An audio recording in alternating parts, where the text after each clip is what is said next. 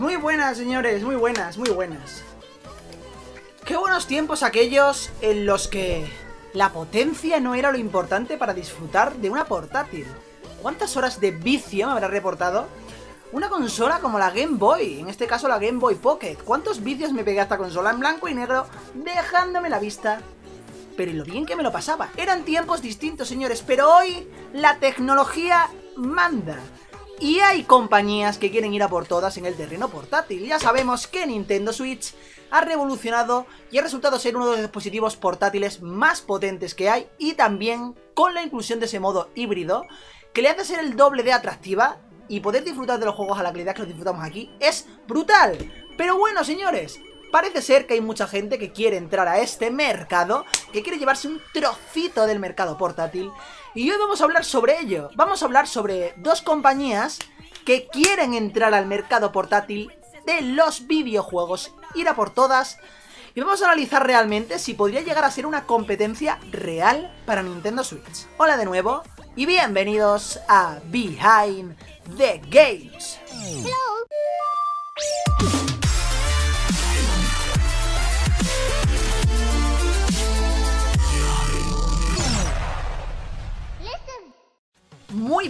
Behinders, muy buenas, estamos aquí un día más para dar las mejores noticias del mundo de los videojuegos y en especial sobre Nintendo Switch, pero hoy no vamos a dar noticias de Nintendo Switch, aunque sí indirectamente va a estar todo relacionado hacia la Nintendo Switch. Bueno, voy a soltar ya la Game Boy, que es muy bonita, pero la voy a soltar, ahora ya no viene a cuento para lo que voy a tratar, Vamos a hablar hoy, vamos a hablar hoy de dos dispositivos portátiles gaming que podrían entrar a querer competir directamente en el mercado portátil de los videojuegos. De uno de ellos ya hablé, que es Smash Z, pero que hoy tenemos datos nuevos y definitivos sobre lo que va a ser esta máquina.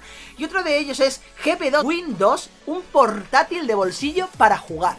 Primeramente vamos a ir con este GPD Windows, portátil de bolsillo, GPD va a lanzar una revisión de su portátil en miniatura que se llama GPD Win 2. Está preparado para ejecutar juegos con buen rendimiento. Las pruebas de benchmark han indicado que este modelo podría mover juegos como Dota 2, LOL u Overwatch a más de 60 imágenes por segundo, incluso a 80 frames mientras que los títulos de mundo abierto como Skyrim bajarían a 50, os quedo por aquí la gráfica para que los podáis ir yendo.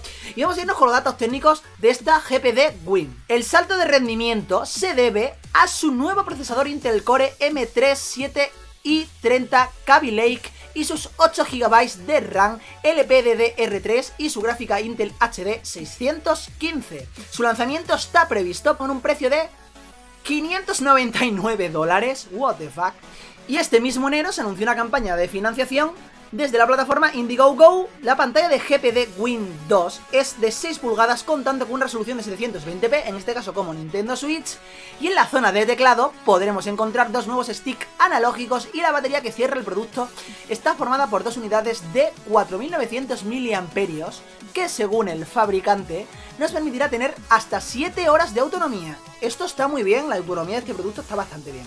La conectividad encontraremos USB tipo C, también como el de Switch, una entrada de mini jack para cascos y la posibilidad de introducir tarjetas micro SD, todo lo que incluye Nintendo Switch, o de lanzar señal desde la consola al televisor a través de un cable micro HDMI. Ojito porque tiene bastantes posibilidades esta GPD Windows, que sin duda es muy curioso, como podéis estar viendo. Es un dispositivo eh, a medio camino entre un micro portátil y una consola portátil de videojuegos que se asemeja mucho a la Nintendo 3DS o a la Nintendo DS, solo que sin pantalla inferior y con un tecladito ahí abajo, como podéis estar viendo las imágenes. Es muy curiosa, pero ya sabéis que es también muy cara, señores. Es muy cara esta consola, barra portátil, como lo queráis llamar. Son 599 dólares y ya sabéis, tenéis ahí la campaña de financiación por si queréis apoyarla.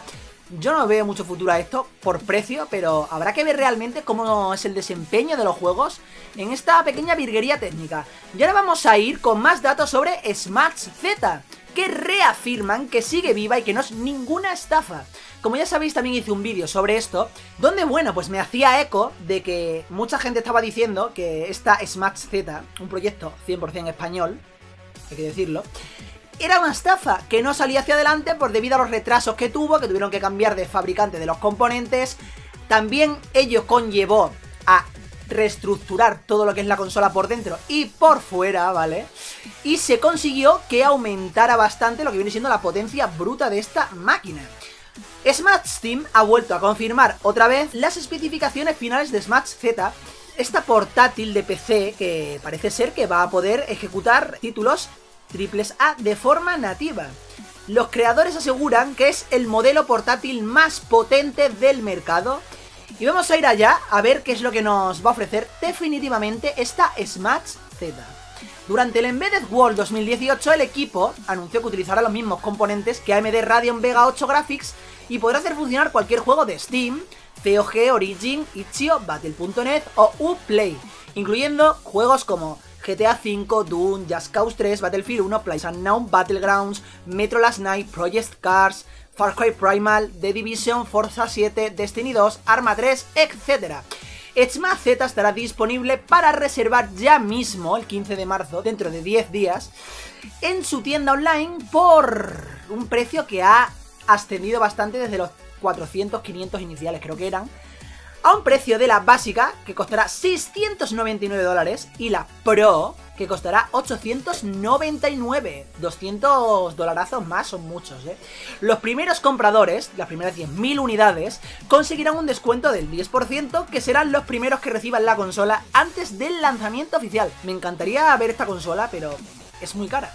El caso es que esto, recibirá la consola justo el día antes del lanzamiento oficial y después la recibirá el resto de personas, los que a partir de los 10.000 en adelante, el mismo día del lanzamiento, y los que la reserven antes, que entren dentro de esas primeras 10.000 unidades, pues se la llevarán a casita un día antes calentita. En cuanto al rendimiento, Smash Z funciona con Linux o Windows 10, con más de 20.000 juegos compatibles desde su salida. Tenemos, por ejemplo, aquí os voy a quedar algunos de los juegos, por aquí. The Witcher 3, que a 720p tendrá una calidad media de 40 FPS. Alien Isolation, que a 1080, calidad baja, funcionará a 50 FPS. GTA 5 a 720p, calidad normal, funcionará a 60 FPS. League of Legends a 1080, calidad alta, funcionará a 60. Rocket League a 1080 con calidad normal funcionará a 60 FPS. Y Dark Souls 3 a 720p, calidad baja, 40 FPS. Por aquí os quedo las características tanto de Smash Z como de Smash Z Pro, ¿vale? Y ahora os insto a que me quedéis aquí abajo en la cajita de comentarios qué opináis de todo esto. Afirman que esta consola sigue viento en popa, que de hecho ya tiene fecha de salida, es inminente, para que sepamos realmente cómo va a ser de buena esta consola, tanto esta como la anterior que os he dicho antes, la GPD Windows que no es una consola exactamente, pero quiere competir en el mercado portátil de los videojuegos, por eso la incluyo como competidora directa de Switch, aunque realmente creo que juegan en una liga distinta, aunque es muy importante eso de poder conectarla a una tele, esta GPD Windows, cuidadito porque ambas traen propuestas muy interesantes, pero yo voy a decir mi opinión global de lo que vienen siendo estas dos plataformas, este tipo de, de iniciativas y de desarrollos, ¿vale?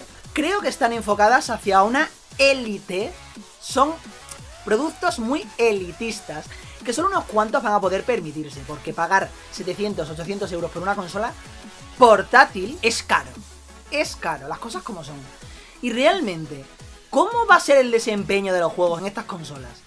¿Va realmente a merecer la pena el desembolso de una cantidad tan grande de dinero para que luego realmente los juegos nos quedemos en plan, pero what the fuck? Si cuando salga Rainway voy a poder jugarlos aquí streameados mucho mejor que aquí en estas consolas. Y además tengo el catálogo exclusivo de Switch. ¿Vale? Hay lagunas. Hay lagunas por lo pronto son consolas que pintan con una potencia bruta brutal, teniendo en cuenta que son portátiles, ¿vale? El factor portátil. Traen muchas características bastante interesantes. Esta Smash Z también decir que la pantalla que incluye es de 1080p, podemos ver que son características bastante brutas, pero los precios también son muy brutos.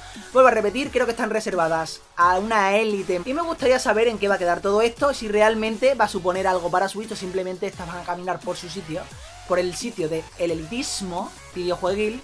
Y Nintendo Switch pues va a caminar por el camino pues de la consola accesible para todo el mundo, con exclusivazos, Habrá que ver, habrá que ver, pero es muy importante que haya más dispositivos saliendo en el mercado y tendremos que seguir en la pista a estos dos dispositivos. Vamos a llamarlos dispositivos porque no se sabe exactamente ya si son consolas o qué, o, directamente ordenadores portátiles metidos, hechos consolas, no se sabe exactamente qué. Pero bueno, como he dicho que me voy por las ramas, me gustaría que me dejéis aquí en la cajita de comentarios cuáles son vuestras impresiones sobre estos dos dispositivos, si les veis futuro, si os compraréis alguno de ellos. Y nada más, gente. Hoy un vídeo distinto, me apetecía dar mi opinión sobre la actualidad de estos dos dispositivos. Solo queda saber si realmente tendrán éxito o perecerán en el intento debido a su alto precio. Esto ha sido todo por hoy, señores. Ya sabéis, como siempre digo, si os ha gustado este vídeo, dadle un like muy fuerte, suscribíos y compartid y todas las redes sociales aquí abajo en descripción. Y ya sabéis que mañana más y mejor, porque como siempre os espero en la próxima entrega de Behind the games.